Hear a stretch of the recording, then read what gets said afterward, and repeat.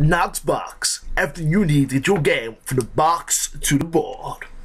So, uh, last I did a proper update for Noc's Box was I think day five, which is a bit embarrassing. It's now month two.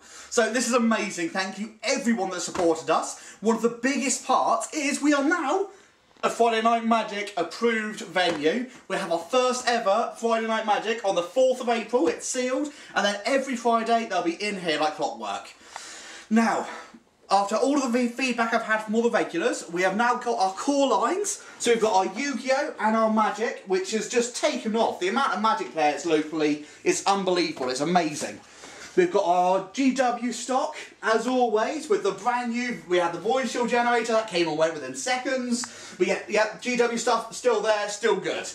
We have for Dead Zone, brand new release, Nexus Psi, that's out this weekend. And we've got all of their stuff there. We've got the Dreadball stuff. It's, yeah, we are swimming in Mantic because their rule sets are just so good.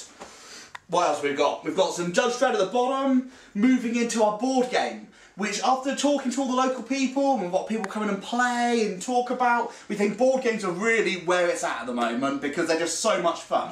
So we've got Talisman, Relic, Zombie Fluxx for the quick fun card games.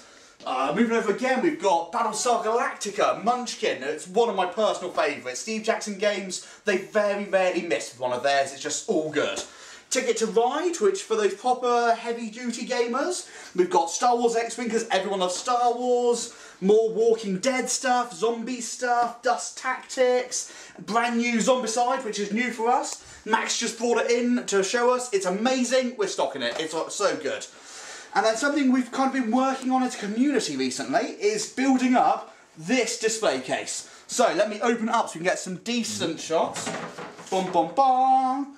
So, right. who did this model at the top? This, this, this the top, top that is Simon Banner, aka Simon Hobbs. Awesome guy. Used to be a teacher at ABW, and he painted it for one of the competitions in Poole, and it's amazing.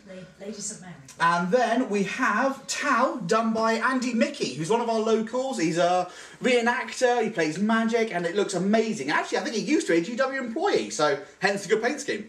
Then we have Baz's Sanguinary Guard, which I personally love. I just think their wings look amazing.